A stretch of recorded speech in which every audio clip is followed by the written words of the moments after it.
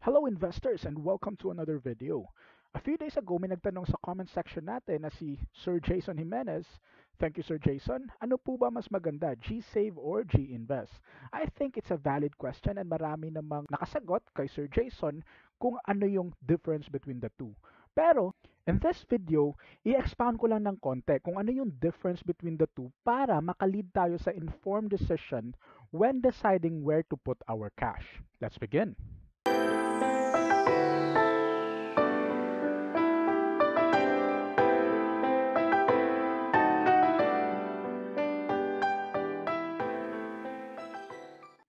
Sa hindi pa familiar sa GCash na features, actually marami kang magagawa inside of GCash. The primary function of GCash itself is to hold your money because it is a digital wallet. It is not a bank.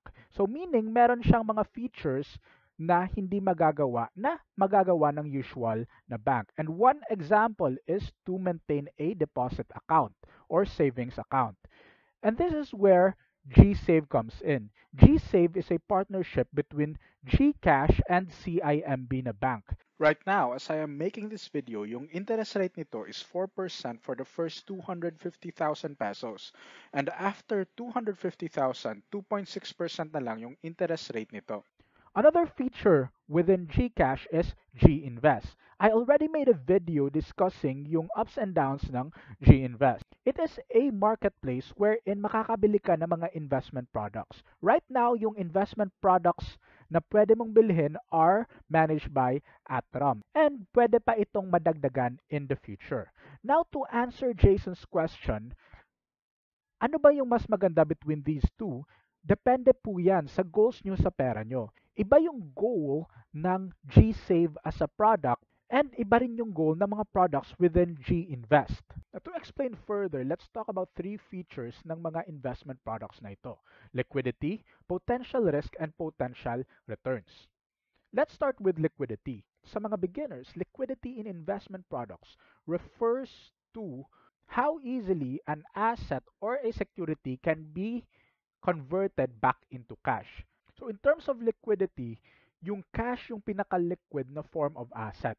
And other securities less liquid than cash. And mas liquid yung some securities and investment products compared to others. Depende kung how easily they can be converted back to cash. Relatively high liquidity yung both G-Save and G-Invest. Pero, as I mentioned sa other video ko about G-Invest, meron kang 7 days between selling your positions in G-Invest and then getting your money back sa GCash account mo. So, meron siyang delay na 7 days, making it less liquid compared sa deposit account na G-Save.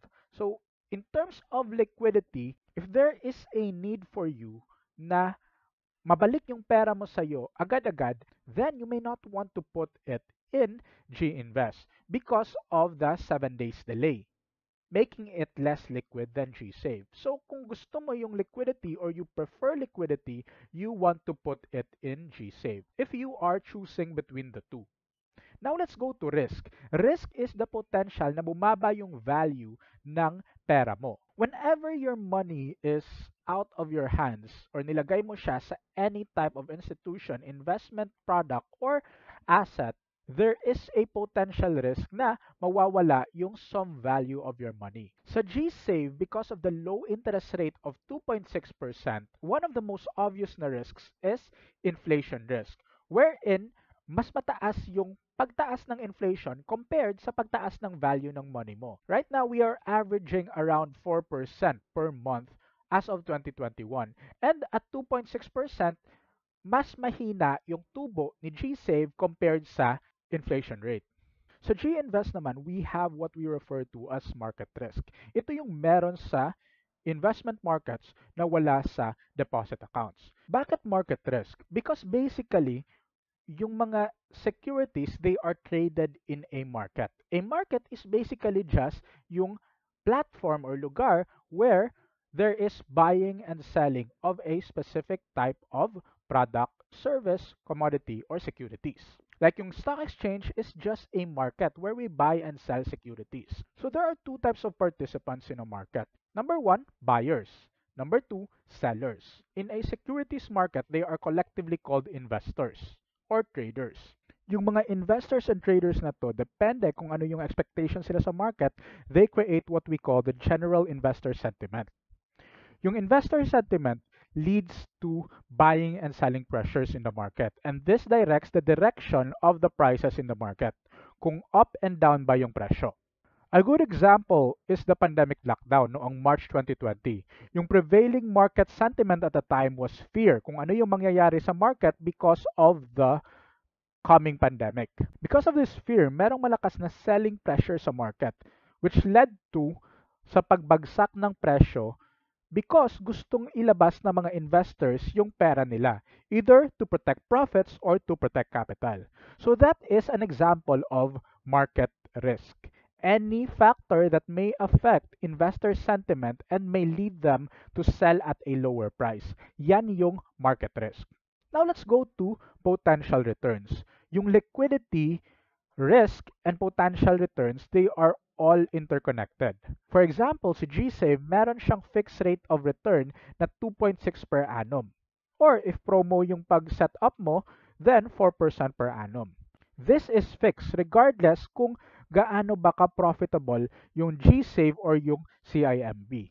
Yung G-Invest naman, yung potential return mo could be 15, 25, or even 30%. Depende sa buying price mo and sa selling price mo. So for example, if you bought at the lowest point of the PSEI and nakabenta ka at the highest point, pwedeng meron ka ng 40 to 50% return.